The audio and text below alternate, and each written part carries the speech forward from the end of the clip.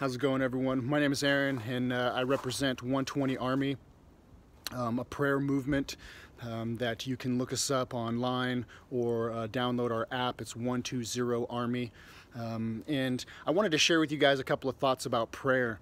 Um, as you can see, right here in my backyard, I've dedicated a space in my yard for a calisthenics gym. Um, and the reason I did that was because I'm someone who uh, practices martial arts. I've been teaching it and, and everything, a uh, total of about 30 years.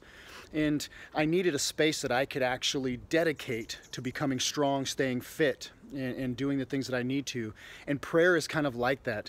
You know, a lot of people, they'll say, oh, I pray all the time, or I'm always praying to God. Well, you know, talking at God, thinking about God, thinking about things um, that we need answers to or struggle with is different than dedicating time and space to prayer. In scriptures in Colossians, we're told to dedicate ourselves to prayer.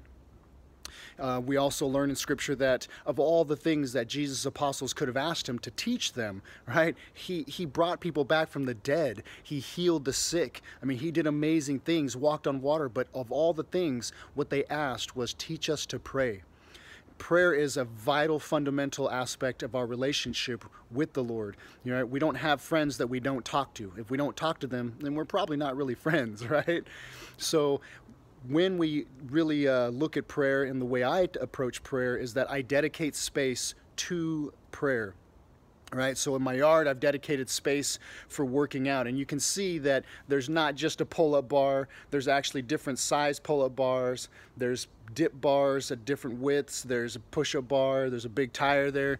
So i don't just have one specific thing i do or one way i approach prayer right prayer is something that we can't uh, we can't fake or make up right? When you're talking to someone you know or friends with you don't fake the conversation and and make up lies right? You talk to them about the truth. You talk to them about what's going on or what's happening in your life. And prayer has to be something from the core of you is the truth of who you are how you feel what you're doing. And that's what God asks from us. But learning how to be true is something that uh, takes time as well. And I'm not saying being honest, but really being true in your prayers. It gets easy to see things in the world and pray about those, oh God, solve world hunger. Oh God, bring peace back to our streets or whatever it may be. But what are the real deep things that uh, you need? In, in my life, I call that glitch hunting. Right, I have all these different bars and stuff like that, and they train my body in different ways. As I come out here and I work out, you know, I find my weaknesses. I find those areas that I need to grow in and be stronger in, and I can do that right here in the space that I've dedicated. And we must dedicate space, one, to studying and reading the Word of God. And when we do, that's where we begin to learn, as the apostles asked, teach us to pray. We begin to learn what really prayer should look like, how it should be approached, and aspects that, uh, mentalities, I guess you can say, that we can use to approach prayer, right? To dedicate ourselves to prayer, to be persistent in prayer, to pray always, right? To be thankful and grateful in our prayers. These are all things that actually begin to teach and, and help us to understand prayer, just like going to the calisthenics gym or going to another gym. You don't just have one piece of machinery and that's it. You've got tons of different types of machines and weights and things that you can use to work even just one part of your body prayer actually is much like that and we've got a, a whole gym right, of things that we, we can go through and we can use and, and work on getting stronger. And in prayer, one of the things that I like to uh, suggest to people is to just set an alarm. So 120 Army, what we do is we're based on Psalms 120, verse 1. I cried out to the Lord in my distress and he answered me. And so we set a specific time every day at 1:20 p.m.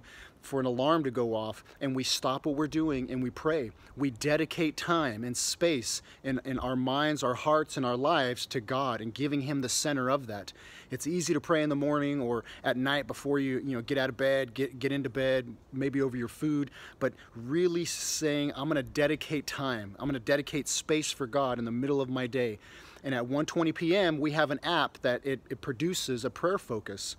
And you can choose to say, okay, every day at 1.20 p.m., I'm going to stop in the middle of my day and pray. And right now, with online school and other things like that, this should be really easy to do. For those who want to really kind of challenge themselves, right? Not just have a pull-up bar or just a, a push-up or dip bar. We go a little bit farther. We have a 1:20 p.m. app uh, alarm on our app that goes off, or you can do a super challenge, and it's it alarm goes off at four times a day at 1:20 p.m. each time zone. So you know you start off doing one burpee and then you grow to two and three burpees so to speak right? Prayer is much like that. If you just stay stagnant and just do the same thing all the time sooner or later you're going to get burnt out.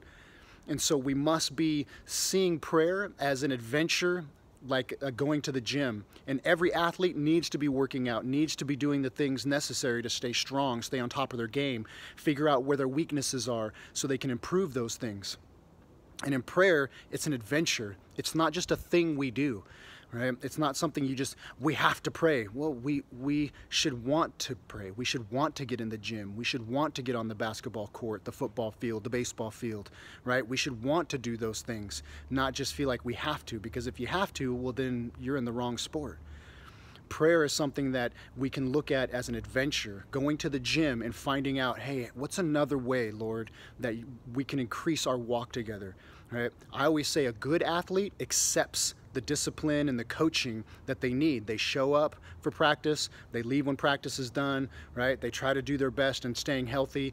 But the Olympic athlete, the pro athlete, is the one that shows up ahead of time they stay after practice. They go to the coach and they ask for the discipline. They ask him to push them. They don't just accept the coaching.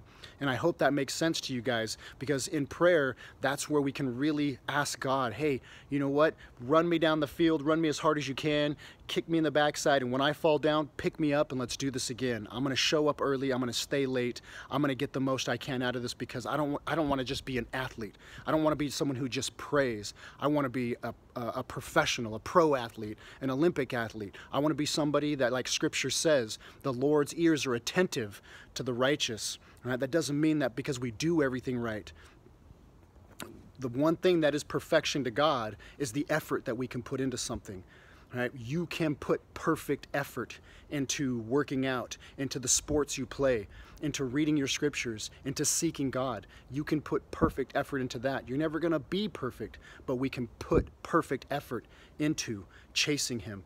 And prayer helps us in many ways to really hone and sharpen that, to stay close to Him right? To show up on the, the battlefield, so to speak, and say, hey, coach, I need you to show me where it is I'm struggling. Show me how to get better at this. Show me where it is that I can, I can use or find tools to get better, stronger in scripture, in, in listening to testimonies and hearing uh, a sermon, whatever it may be that's our opportunity.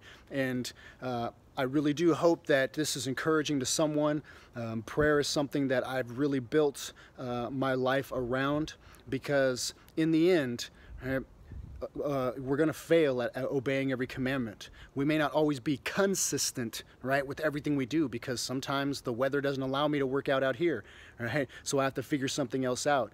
We, we're not always going to be able to be consistent in everything, but you can be consistently persistent in all that you do constantly returning to the Lord, constantly turning your mind to prayer, constantly going to that space and making time, dedicating time, dedicating space to actually getting stronger. And that's my testimony on prayer, how I approach it.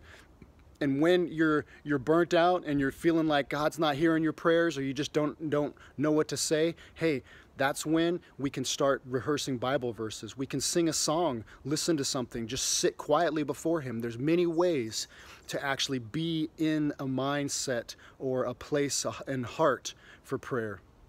All right, so don't think that it's always just getting on your knees and saying the same thing. Right? You don't want to hear the same thing over and over from people you know and love. So let's try to make sure that we have true dialogue, true conversation with the Lord. And all of that starts by making sure you get dedicated space and dedicated time. So hope that was encouraging to someone. Thank you guys very much for giving me the time to talk. Again, uh, 120 Army, you can find us online um, or you can find our app, 120 Army on the App Store. Thank you very much and have a good one.